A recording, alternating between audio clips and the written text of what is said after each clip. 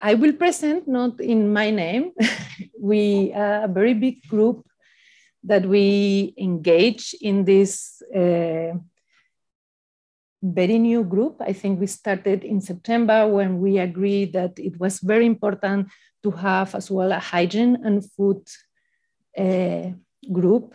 And I will show you now why we didn't take the food out, but the food will be in again.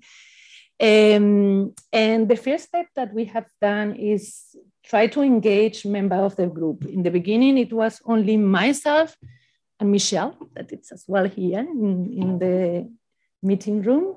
Um, and slowly we engage other members of the group that are as well online, I guess.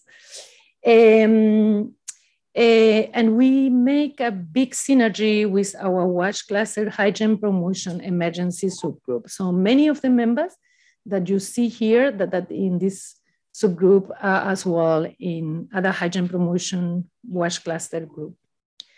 But uh, I want to as well, like Christopher uh, asked in previous, I know you see many members of the group, but as you can see, we don't have the voices from the field.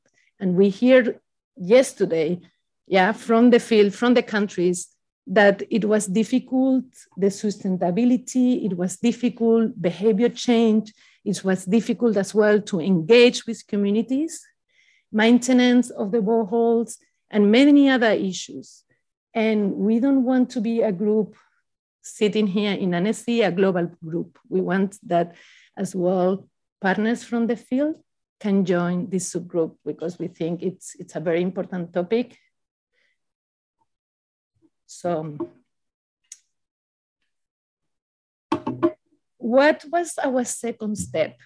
We wanted to review a little bit what Global Task Force uh, documents and as well the NCPs, the draft NCPs, and we wanted to see how much hygiene promotion was was in this mention, no? in these documents, which were the indicators that we have for hygiene promotion. And we found, um, for example, in the NCP guidance note, we find only two indicators for hygiene promotion. We find indicator 14, where we see that uh, this mentioned proportion of people with access to hygiene in hotspot, but it's not defined what is hygiene itself. And the indicator 16, proportion of the hotspot population that has correct knowledge on cholera prevention in communities. And why I highlight knowledge? I highlight knowledge there because knowledge, it's any mean to behavior change, right? I mean, for sure, we need knowledge from the communities, but we cannot um, think that this is our indicator. We find as a group that it, the indicators were a little hard to measure the impact of hygiene promotion and as well a little bit limited, one little bit or limited to, to really, you know, think of a good approach for hygiene promotion. And we wanted as well to insist as a group, hygiene promotion is much more than simply disseminating messages. We know I mean, we can go in an emergency, distribute hygiene kits and come in with the pamphlets, how, but this is not, we want to achieve more sustainable behavior change. So this is why the group wanted to agree and how we wanted to take care or wanted to suggest that the hygiene promotion component we see there communication knowledge. Is it's one of the main issues but we we we as hygiene promoters know there's much more than communication. We have um, social and behavior change. We have the community engagement and participation.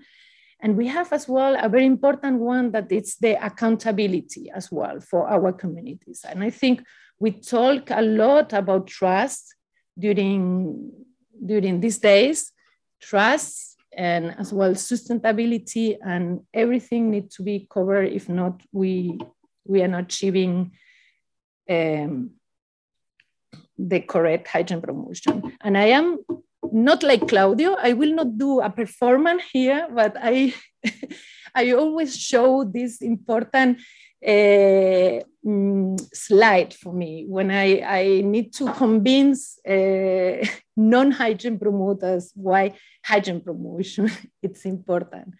And we know perfectly that hardware sanitation facilities, we're talking about water, safe supply, soap, jerry cans, the toilets are important, everything is important. But if we don't invest and doing a right balance with the software, we know that we need, you know, without the right hygiene promotion and community engagement, there is no behavior change, right? We see in many emergencies that the behavior is changing during the emergency, right? Why? Because the population fear of getting sick or the mother's fear that the children will, will get sick.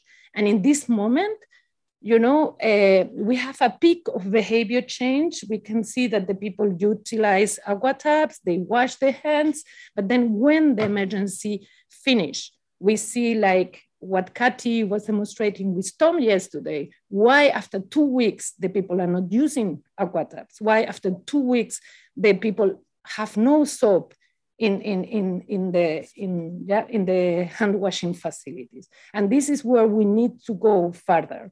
We need to understand motivators and barriers from the community to understand what we will do correct the next time.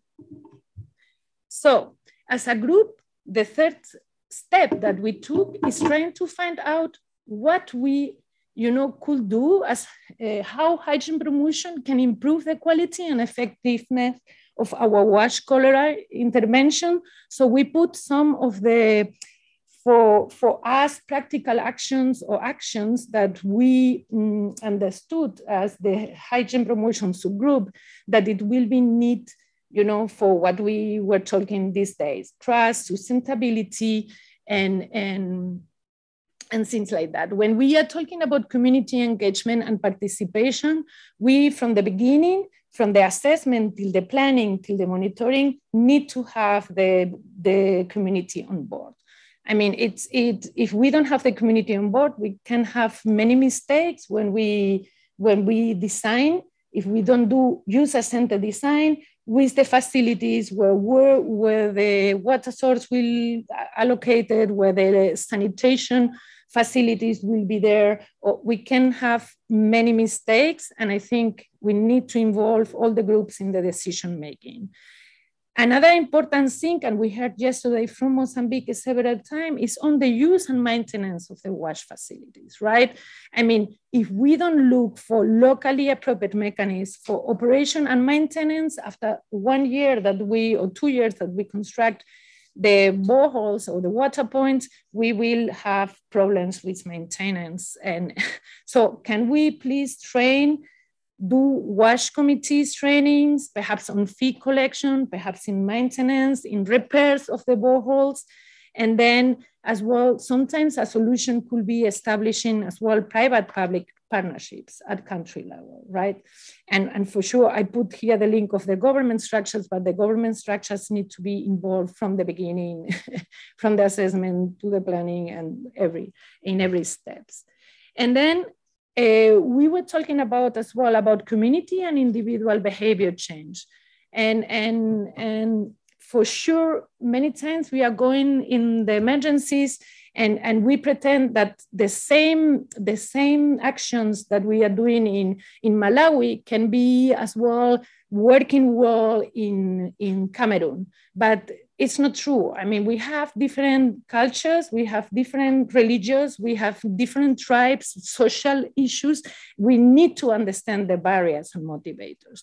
Many times it's, it's about understanding and doing more qualitative as well uh, interviews and it doesn't need a big cost you know we we we are discussing here in this in this plenary all the time about quantitative. Yeah, quantitative is a huge investment, but sometimes with a small qualitative as well, focus with discussion or talking to the population in, in, in what they really need and why they really want perhaps makes much difference. And it needs not really a big investment. And then on distribution of hygiene related items and materials, we want to emphasize here is the same Many times we are distributing standard kits that come from our global level, and we don't know really if these items uh, work. We, we heard as well about Aquatab, perhaps in Mozambique, as we know, is Certeza, why we are bringing other products and we are not looking before before, we don't need to look that at an emergency operation. We should look that in preparedness, readiness, or in prevention. Look of local material, look of, um, and we can localize the hygiene kits already, right? Like Chris was adding yesterday, this is as well something that we, we need to do before an emergency is happening, working with the government, with the WASH cluster, and trying to define uh, what is in the market in each market and having ready kits at country level, not, not sending it from. Uh, um, and then another important thing was that sometimes we are giving the hygiene kits, but we are not doing any satisfaction survey afterwards. So we need as well to monitor the use of these things that we are distributing and hearing from the population if we can change in the next emergency as well situation, or we can adapt it for a better kit in the next, in the next future. Okay, so the other steps but that we took is we try to see and define what are the risk uh, hygiene behaviors uh, that that we have in cholera. And I, I, don't want, I mean, you are super familiar with that, so I don't want to, you know, give a speech on that. But we we we wanted to insist in some of them. I wanted to insist that yeah, water source is, is safe water source. It's very important, but we want to go a little far away. I mean, many times the transmission of cholera, it's not from the water source, it's from the transportation and from the household level handling of the water. So this we need to insist as well that it's not only, you know, constructing and, and putting boreholes and springs, it's as well how we will track that the population transport and the water in a correct way at, at household level. And then we have as well the food hygiene. We see food hygiene, it's, it's very important. And I think some uh, colleagues from the field already mentioned that yesterday, but we wanted to go far away, I mean, a step further and say, okay, at household level is important, but what happened at food and water vendors as well, right? And this is a big issue, for example, in Ghana, this, the two last uh, cholera outbreaks were from the market, food from the food restaurants or for the food uh, selling the market. So this is how we see it. We are open as a group to check if there's other um, behavior that we can add. So you are all welcome to that. Uh, and then what we wanted is to make a little bit a, uh, a, a, brainstorm about the challenge that we see as a group in, and, the, and the opportunities that we see as, as, as a hygiene promotion subgroup. So I think many of these we cover and we wanted to do the challenge in positive not doing it as a challenge but many of that i cover already. We see that it's a less interest in the hygiene promotion and the hygiene promotion per se it's the cost is much less by the way than the hard work uh, part of it. It's only that we, we clarify that as well. Many times the investment is, in software is much less than the hardware. So we need to balance it right. Uh, there is a tendency of message dissemination, more use than the holistic approach during the interventions. This I cover already. The hygiene interventions um, uh, we see that they are not, not contextualized. We cannot use the same pamphlet, perhaps for you know a cholera outbreak in Mozambique, then a pamphlet for the cholera outbreak in. I mean, the message is the same, but if we can tailor to the context, will be fantastic. because many times we, we think it's the same messages we should do, but we need to see the barriers and motivators to tailor the message better we find as well that the unfamiliarity on community participation and feedback, and many people uh, are afraid of this word and it's it's not so complicated right? It's it's it's only having more quality interviews understanding and hearing the population. So so we feel sometimes yeah when we are talking about community participation feedback and accountability the people say oh this is too complicated for us. So i don't think uh, it is and then we but and then we see as well a challenge on short-term cholera response initiative versus for sure what we want in the end is sustainable behaviors but we see a lot of opportunities as well. We see that we need increase, and we are discussing this from yesterday. We have an increased coordination with other WASH Global Task Force subgroups. For sure, we want to be with the NCP um, and, and making sure that the NCP, you know, uh, a brainstorm by hygiene promotion and, and put it as a important um, activity in the plans. We have as well a strong coordination with the WASH cluster hygiene promotion emergency subgroup, all the same uh, experts from some the groups are very similar um, we are the same. And i wanted as well to add that it's i mean this this group it's calling hygiene promotion in emergency but we are targeting not only emergency hygiene promotion we are targeting resilience. I mean we we are talking and and having the same tools and different approaches for both hygiene promotion in emergency but as well in long term and then we have a very good opportunity because now in March, uh, there will be launched the hygiene Promotion Compendium. This is a compendium uh, of approaches that has been developed by, um, lead by WASH Network, uh, plus uh, a lot of organizations that I sit here has been involved in this compendium.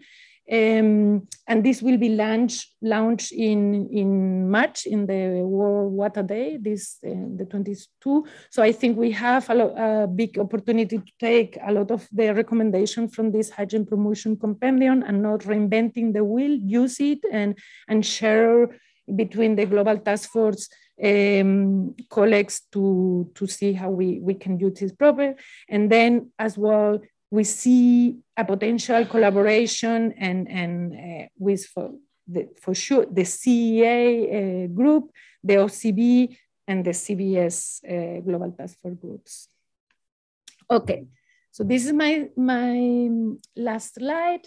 And we try to, to think what could be our not very ambitious, not too ambitious actions for short term Medium term, we thought could be from 2023 to 2025.